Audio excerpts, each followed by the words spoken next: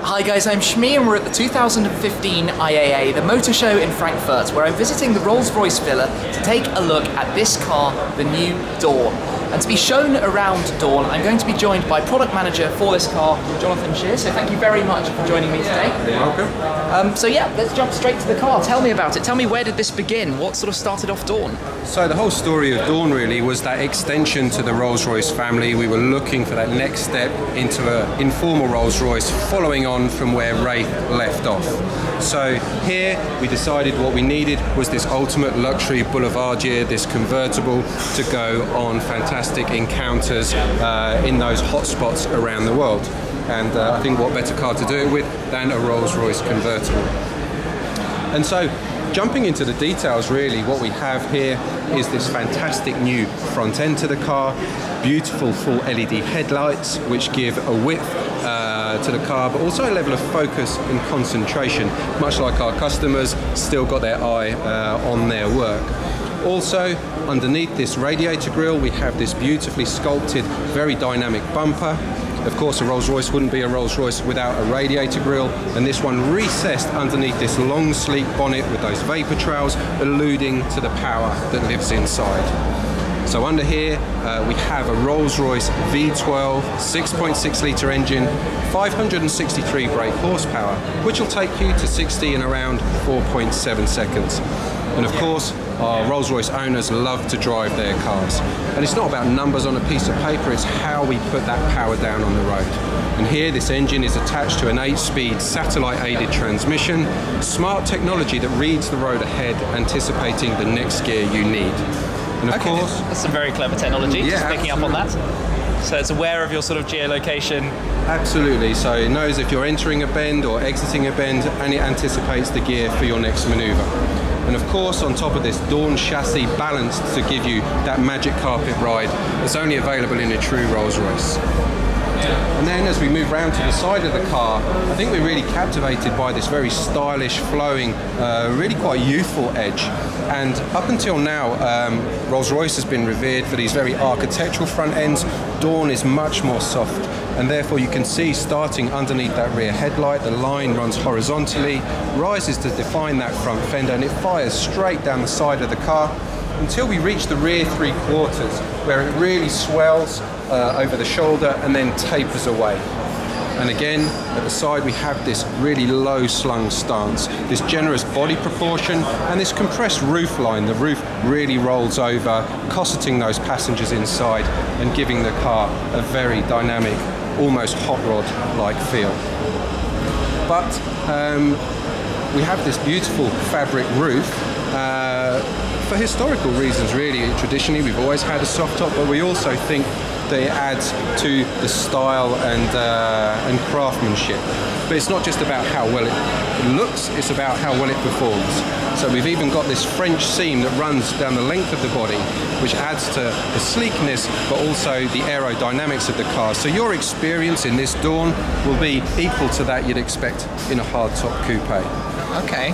But I think, you know, this is a convertible, we should probably take the roof off. So Definitely. While I do that, I mean, this is something that we're really proud of, the silence of the roof. So okay. Uh, hopefully you won't hear anything because uh, our yes. engineers have really worked hard to make it a very graceful and silent manoeuvre.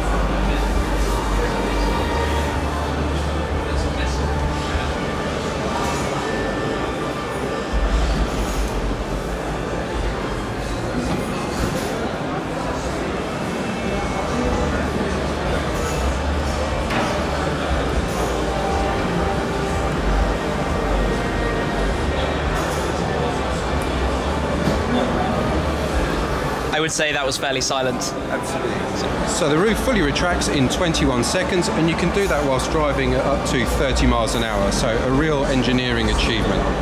Now, now we have the car uh, in the open position, we can really see how Dawn is a showcase of that Goodwood craftsmanship. And the first thing we have is this beautiful open pore tonneau deck here in Makassar ebony and it really uh, circles round those rear occupants and connects the exterior of the car to the interior via this waterfall panel that pierces down in between these rear passenger seats and the eye is flowing through the car.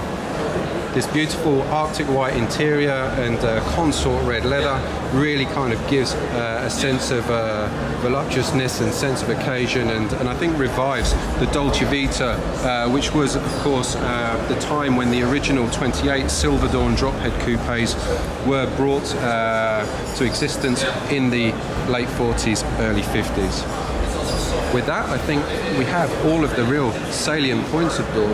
Uh, but just to say, of course, that it is designed as a true four-seater. Uh, we strongly believe that luxury is something to be shared uh, with friends, family, loved ones, and therefore every single occupant is considered in the design of the car.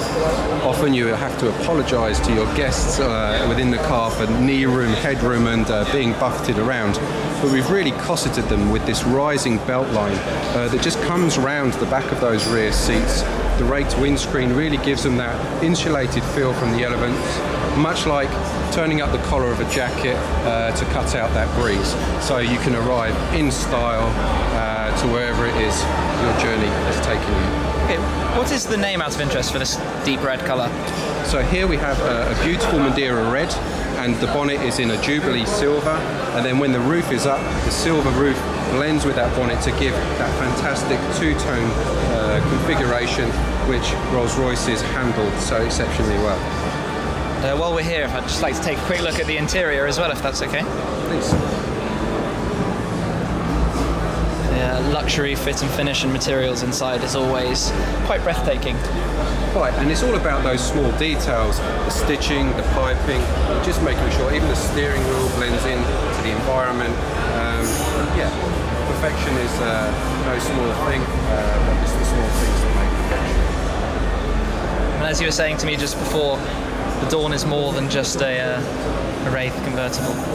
Yes, every time we produce a car at Rolls-Royce, it has to be unique, iconic, and instantly recognisable.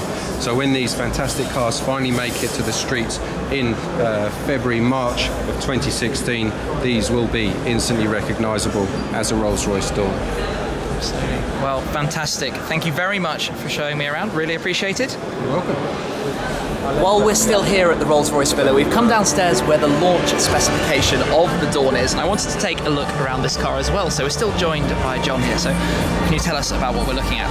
So here we have a fantastic Dawn in midnight sapphire, and as we come around the car, we can see that indeed the interior has this fantastic Mandarin interior.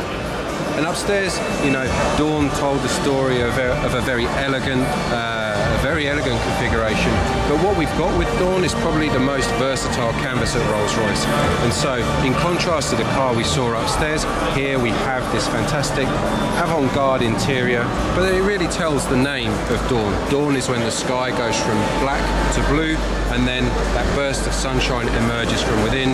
That fantastic hand-painted coach line depicts the break of the sun on the horizon and I think top of these new unique Dawn wheels really gives this car a sense of occasion. And of course uh, our Rolls-Royce owners love to personalise their cars taking advantage of all of our bespoke offerings. And they really make their car not only their own in terms of bespoke but also a true representation of their style, their lifestyle and really unique to themselves. Hearing this or sort of thinking about the whole the specification, the choice of colours with the representation of the name, it's actually quite a clever story. I personally love the sort of the complete, almost the contrast, but I guess it's a natural contrast because it's one we're used to seeing. Yeah, and uh, and it's one that's actually gone over incredibly well. Um, we've been doing some uh, some private closed room events, introducing Dawn to our uh, existing exclusive customer base, and this has been really well received. So much so that we have a number of customers just saying, just send me one exactly like that. Don't change a thing. the specification. And you mentioned the the wheels, a new wheel design for this car. Yes, yeah, so uh, available in paint painted and fully polished, uh, as you can see here. This fantastic 21-inch uh, forged wheel um, has got lots more presence, a lot more style.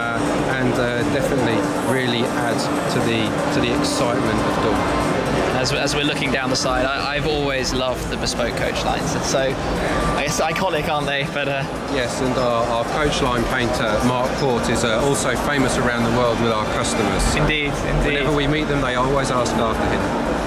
That's uh, actually quite interior. I like actually how there's some blue brought into the interior as well, sort of matching with the exterior paintwork. And the blue actually goes a long way to, to soften the Mandarin uh, and makes it much easier on the eye.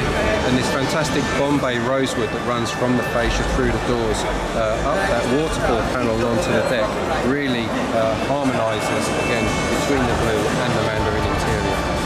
I think this is an absolutely beautiful car. I'm glad we came down to look at it as well. So uh, thank you again for extending the piece there. Really appreciate it. That was brilliant. Right, so there we go then. I hope you enjoyed that look around the new Rolls-Royce Dawn here in their villa at the 2015 IAA, the motor show. It's an absolutely beautiful car, truly breathtaking. So big thanks to Jonathan Shears there for joining me and showing you the new car. That's it for now though. Thank you very much for watching. Make sure you're subscribed for plenty more coverage and I will catch up with you again very soon. Cheers. Lamborghini Huracan LP610-4 Spider.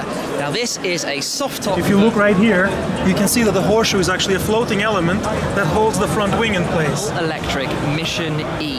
This is a 300 mile range, 600